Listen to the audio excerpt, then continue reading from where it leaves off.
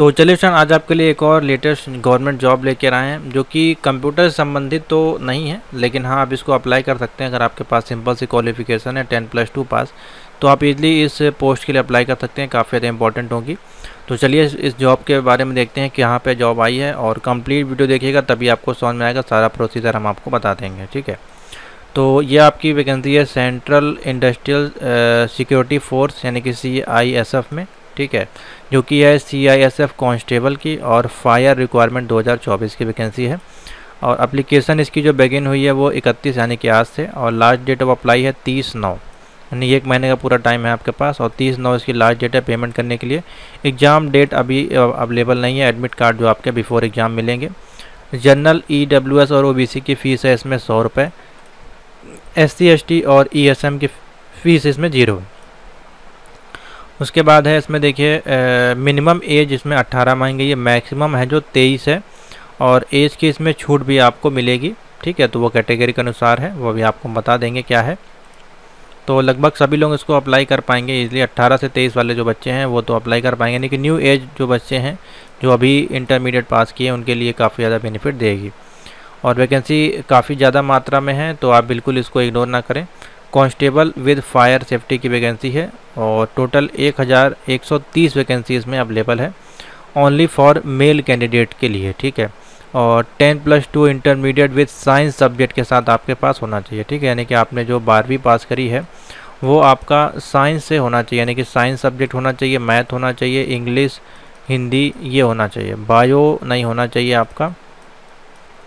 और आपका आर्ट्स से नहीं होना चाहिए, कॉमर्स से नहीं होना चाहिए, पीसीएम से आपका होना चाहिए, ठीक है? फिजिक्स, केमिस्ट्री, मैथ होनी चाहिए उसमें। और हाइट आपकी जो है 170 सेंटीमीटर, चेस्ट आपका 80 से 85 सेंटीमीटर, मोर डिटेल आपको भी हम बताते हैं। बाकी नीचे इसमें स्टेट वाइड डिटेल दी गई है, यूपी, दिल्ली, बिहार, मध्य प्रदेश, झारखंड में कहाँ पे कितनी टोटल पोस्टें अवेलेबल हैं, ठीक है?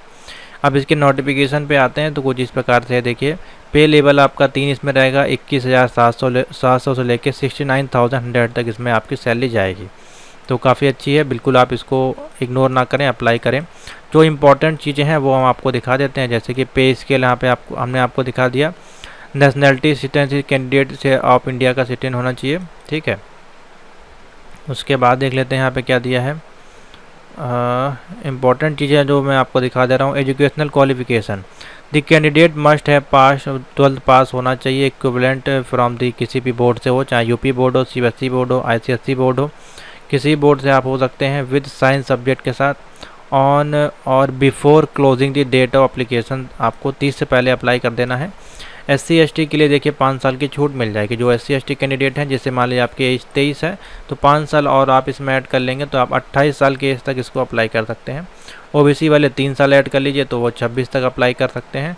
और अगर पहले से आप एक्स सर्विस मैन हैं तो उसमें आपको तीन साल की छूट मिल जाती है। या फिर चिल्ड्रन है and dependent of victim killed of nineteen जो आपका गुजरात में केस हुआ तो उन केस में फिर आपका जो है, ये सारी छूटें और आपको मिल जाती हैं, ठीक है?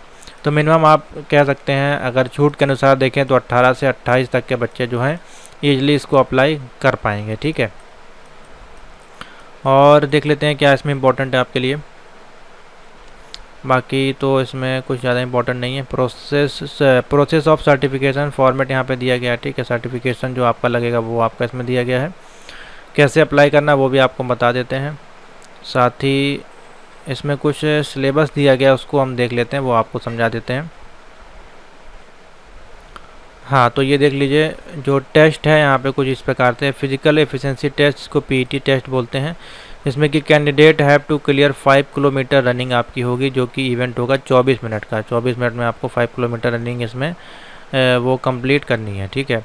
और फ़िज़िकल स्टैंडर्ड टेट की बात करें तो इसमें हाइट आपकी 170 चेस्ट इतना होना चाहिए, ठीक है? और कैंडिडेट जो बिलोंग करते हैं हिल एरिया से, जो ये एरियाज़ हैं, जैसे जम्मू कश्मीर हो गया, लद्दाख वगैरह हो गया, उनके लिए हाइट है जो 165 मांगी, क्योंकि वहाँ पे हाइट हो सकता है, वहाँ पे कम होती है जिस कारण से। चेस्ट वगैरह आपका इतना मांगा गया, ठीक है? और बाकी जो और स्टेट हैं, उनका भी देखिए रिक्वायरमेंट कम है, क्योंकि यहाँ पे हो सकता है, यहाँ के लोग जो है थोड़ी सी हाइट में कम होते होंगे जिस कारण से। हाँ यहाँ पे आपका देखिए दिया गया है written examination under O M R oblique C B T based exam यहाँ पे दिया गया है।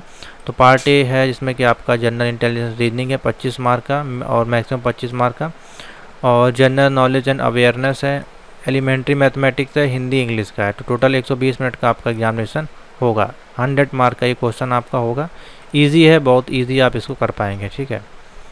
और ऑल क्वेश्चन विल भी ऑब्जेक्टिव टाइप के होंगे। दो रिटर्न टेस्ट एग्जामिनेशन कंडक्ट होगा हिंदी, इंग्लिश में, जो कि O M R oblique computer based mode only हो सकता है। There is no negative marking इसमें निगेटिव मार्किंग भी नहीं है तो आप सौ के सौ क्वेश्चन इसलिए करके आ सकते हैं, ठीक है? तो बेनिफिट है इसको अप्लाई करने का, बिल्कुल आप इसको अप्लाई करें। बस फ़िज़िकल जिनका मज़बूत होगा, उनके लिए थोड़ा सा ये ज़्यादा बेनिफिट देगा। बाकी इसमें जो दिया गया है, ये कोई मतलब का नहीं है आपके।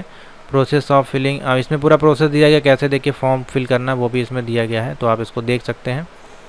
ठीक है, पूरा इसमें प्रोसेस दिया गया, कैसे फॉर्म को फिलअप करना है। तो इस पीडीएफ को डाउनलोड कर लीजिएगा। बाकी हम शॉर्ट में आपको बता देते हैं, यहाँ पे आपको जाना है, इसकी वेबसाइट ये है। ठीक है, ये सरकारी रिज़ल्ट पे लिंक आपको मिल जाएगा, यहाँ पे आपको अपना नेम फिलअप करना है वेरीफाई करना है नेम को। अगर आपको इवन नेम आपने चेंज करना है तो वो भी डाल दीजिए फादर नेम वेरीफाई कर दिए mother name date of birth gender है, ये सारा फिल करने के बाद आपको सबमिट पर क्लिक करना है। सबमिट क्लिक पहला पार्ट हो जाएगा, यहाँ से फिर आपका ओपन होगा पार्ट टू ठीक है, यहाँ पे आपकी कैंडिडेट डिटेल है नेम फादर नेम आपका देखिए, ये सारी चीज़ें इसमें भरी जाएँगी सिंपल सी।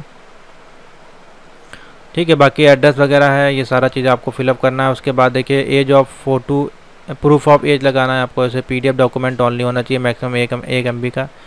एजुकेशनल डॉक्यूमेंट आपकी फ़ोटो सिग्नेचर ठीक है, ये सब अपलोड करने के बाद आपको प्रिंट करना है। पेमेंट के लिए पेमेंट करने के बाद आपका फॉर्म जो है वो प्रिंट होकर आ जाएगा। तो इस प्रकार से पूरा कंप्लीट प्रोसेस आपको करना है। तो जाइए इसको ज़रूर अप्लाई करें। बहुत ही अच्छा इजली फॉर्म है, काफ़ी सारी वैकेंसी है। पेपर इसका ईजी होता है सिंपल से आप इसको क्रैक कर पाएँगे, ठीक है? तो थैंक यू फॉर वॉचिंग